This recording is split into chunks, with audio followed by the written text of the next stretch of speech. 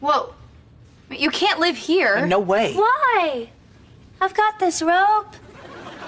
These extra long extension cords. A light bulb. So it's not so bad. Except when the giant mice jumped down from the ceiling. Giant mice? Oh my god! How often do they jump down from the ceiling? Ah!